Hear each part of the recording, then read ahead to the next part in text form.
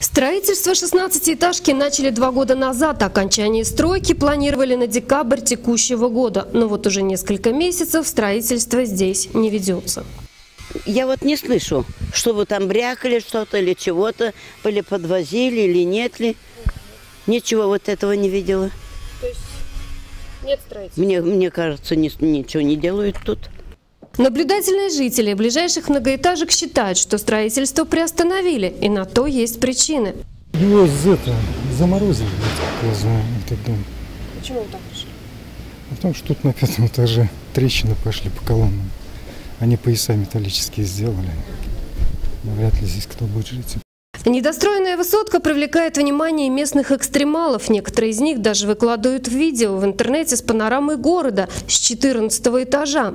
Как оказалось, охраны здесь нет, ворота стройки открыты. На территории высотки мы встретили лишь одного рабочего. А вы здесь один, необычно? А где все? Нет, А вы кто? я рабочий. А где охрана? Вечером приходим. Почему высотку забросили? В администрации города о приостановке стройки знают. Сейчас мы видим, что строительство ведется не теми темпами, на которые рассчитывали дольщики. А, Мы э, неоднократно встречались э, с руководством компании Техноповолжье К, а, которая ведет строительство данного дома.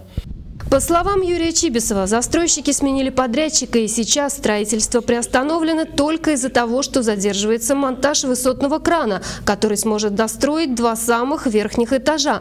Глава администрации развеял слухи о полной заморозке строительства.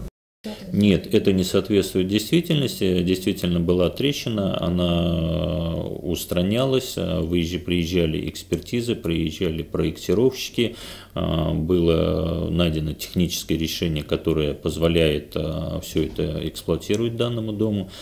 В администрации города вопрос строительства одного из четырех 16-этажных домов держит на контроле. Обещали разобраться и в проблеме охраны стройплощадки. Татьяна Баунева, Виталий Немов. Наше время.